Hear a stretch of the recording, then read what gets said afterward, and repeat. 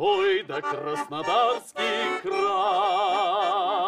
ой, да он богат лежит, ой, да по степи река, ой, да с гор крутых бежит, ой, да по степи река, ой, да с гор крутых бежит. Ой, да принимай страна, ой, да наш кубанский хлеб, ой, да принимай страна, ой, да наш кубанский хлеб.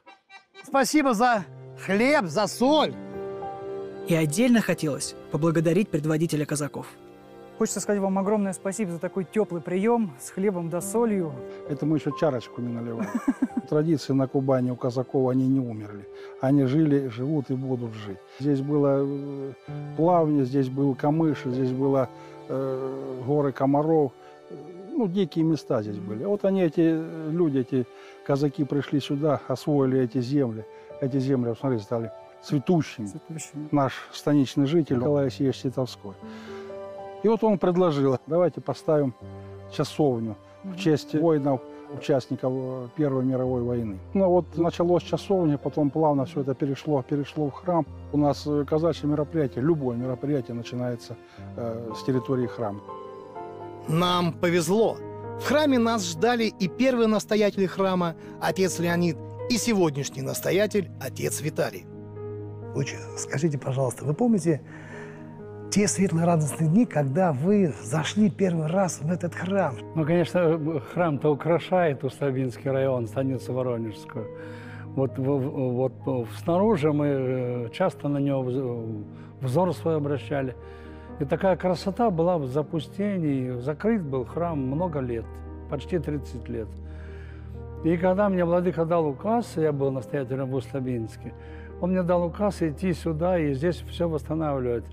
И мы с Владыкой приехали, о боже, ни одного окошечка целого не было, и кровли не было, и двери все, ну, все было разбито, все было в таком состоянии, что просто плачевно, страшно даже было смотреть. Но с Божьей помощью у меня получилось за год вот здесь полы выровнять, которые были провалены, кровли не было 30 лет, и вода шла сюда по колоннам, по всем. Роспись вся была отвалена, отдельные образы были, упадали.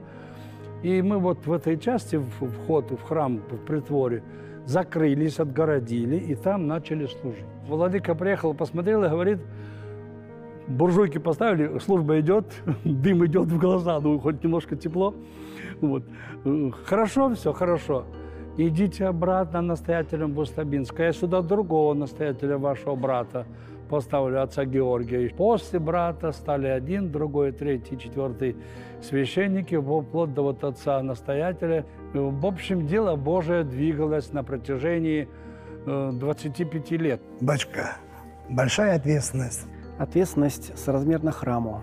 Храм огромный для такой относительно небольшой станицы. Это кубанский казачий храм. Этот храм построили, причем а, с привлечением довольно современных э, на тот момент строительных материалов. Например, вот э, э, напольное покрытие, которое вот мы видим в притворе и под хором храма, это немецкая метлахская плитка.